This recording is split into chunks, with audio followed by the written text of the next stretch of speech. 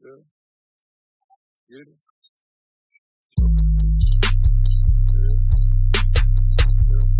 Hey everybody, what's going on? It's your man Kohrey. Welcome to the Digital Dash where I'll be giving you guys tips on how to market your songs and get those numbers booming. Now, for those of you who don't know who I am, I'm a digital marketer myself. I specialize in helping artists like you guys get their songs heard through platforms like Spotify, Instagram, YouTube, and a bunch of others. Now, what I want to talk to you guys about today is how you can go about getting your songs onto these streaming platforms like Spotify, like Apple Music, like Pandora, and so forth. I've realized that a lot of newer artists don't necessarily know how to move their songs from free platforms like SoundCloud and Audiomack onto these paid streaming services so that they can start to utilize them. So I want to show you guys how you can do so. Now, if this is something that you already know how to do, you may not want to stick around for this video unless you just want to know what I think about these two platforms that I'm about to mention. So with that being said, let's get right into it. Now, in order to upload your music to these platforms, you need what is known as a distributor or a distribution service. Now, the two that I always recommend are DistroKid and TuneCore. Mainly because I know they're both pretty professional and pretty reliable. They're ones that I've worked with in the past myself. I also have friends and peers who swear by them both for various reasons depending on the platform. Now, as of right now, I have a DistroKid account. So what I want to do is walk you guys through the back end and show you what it's like to upload your songs directly through the platform while using DistroKid itself. So with that being said, let's get right into it. All right, guys. So here we are inside of the DistroKid account. Now, obviously, the first thing you need to do is come to their website,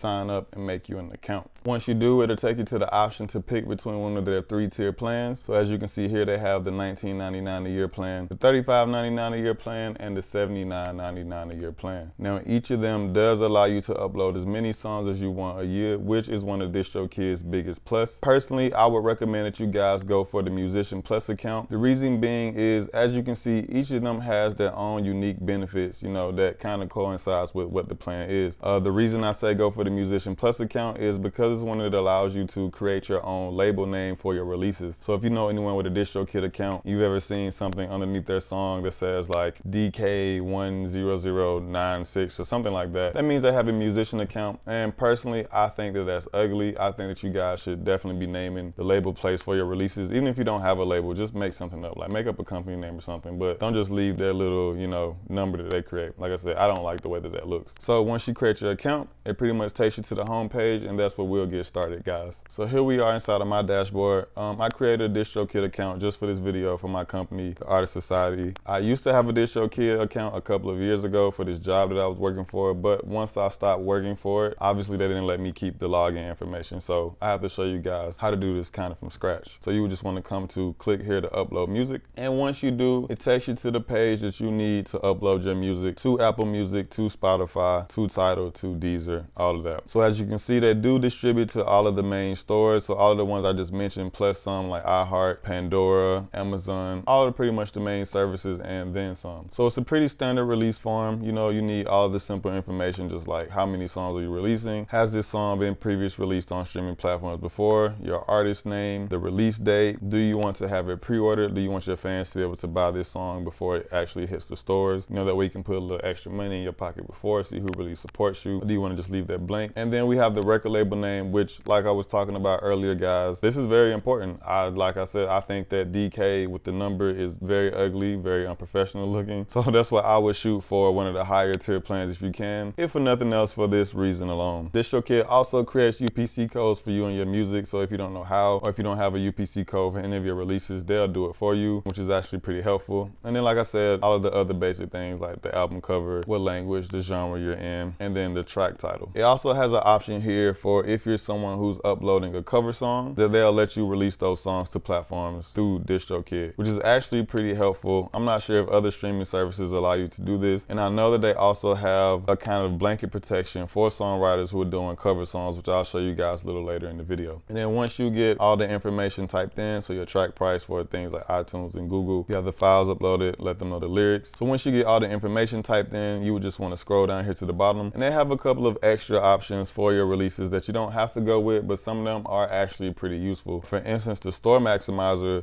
which pretty much lets DistroKid put your song into any new stores as they get created. So let's say, for example, that I wake up tomorrow morning and go, hmm, I want to create a streaming service. I think I could compete with Spotify. I'm gonna make XYZ streaming. Then DistroKid would automatically put your song into XYZ streaming without you having to do any extra work. So it's pretty useful, especially for today where we have streaming services popping up left and right. And then there are also streaming services out there that you guys may not even know about. There are literally dozens or even hundreds of these streaming sites that you guys probably have never even heard of. And having something like this keeps you from having to keep up with all of that. And another cool feature is the leave a legacy feature, which isn't necessarily as needed as something like the store maximizer. I just think it's pretty cool about DistroKid is they won't delete your song from a store just because you stopped paying your membership fee. So if you were to, you know, worst case scenario, die and you couldn't afford to keep paying to keep your song on these platforms, they won't delete it. So that way your family or whoever, you know, gets your stuff will still be able to collect your royalties from DistroKid from your songs while the, even while you're gone, which is which is pretty cool. And then you would just check all these boxes and then click done and boom, there you would have it. Your stuff will be on its way to being into stores. So one of the things that I do like like about DistroKid is it does seem to be a lot faster than some of the other distributors. So I have friends who personally use DistroKid and they swear by it. One of my best friends uploaded his song to DistroKid on a Monday and it was in Spotify by Thursday, which I think is absolutely insane. That's actually pretty fast. I've used other distributors and sometimes it takes them like a week or even a little bit longer to get songs into these other stores. So that's another one of their major selling points is that they are actually pretty fast. And I also want to show you guys the settings page uh, just because it has a couple of other cool features that DistroKid does have. So as you can see here, you can get your lyrics uploaded into Apple Music and iTunes. They have this uh, function called the hyperfollow function, which it pretty much creates a link for you. And as soon as someone clicks on the link, it automatically follows you on Spotify and automatically saves your song to their library, which is pretty cool. You can get your Spotify for Artists account created through DistroKid. And you also have the ability to whitelist certain songs um, from the YouTube money claims. So if you did some kind of like collaborative effort with a YouTube channel, let's say you got your stuff onto No Jumper and they were like, we're gonna claim the money for this, you could just easily come into your DistroKid and take that claim off the video so that you could honor the partnership. And like I was talking earlier about the cover songs for the songwriters, they do help you with the licenses so that way you don't get sued and your stuff doesn't get taken down, which is another thing that I also find very cool about DistroKid. I don't know how many other distribution services actually help songwriters and cover artists keep their stuff online or even put it up for that matter. But you know, even past that, help you actually make sure it stays online and it doesn't get taken down and that you're legally protected to keep your music out. So yeah, that's something else that I think is really cool about the platform. So yeah, there it is guys. I just wanted to show you all the back end of DistroKid just so you can get an idea of it, see if it's something that you would like. Like I said, some of the key points of it I really like is that it is a lot faster. Some of the other distributors, um, it's pretty cheap. Uh, as you saw the 19.99 plan and the other two plans, like that's not a lot, especially for a year. You know, that's like dollars a month to save up just to make sure your music stays out there. So yeah, check it out. See if it's something you're interested in. If it is, you know,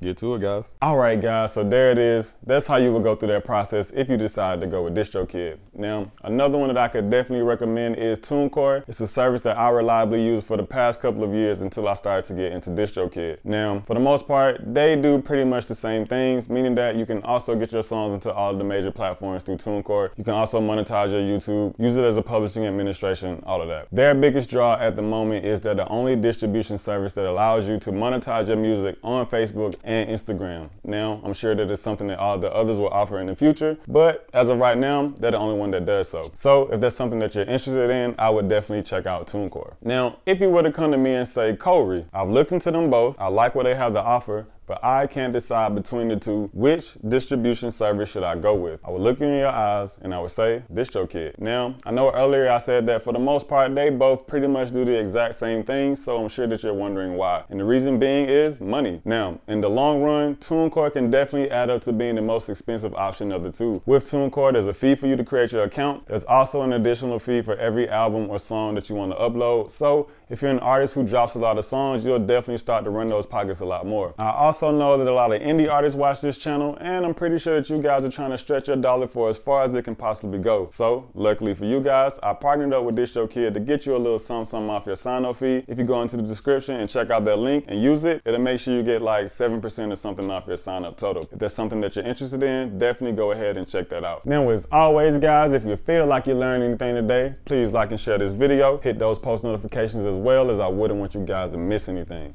Once again, my name is Kohrey, and I'll see y'all next time.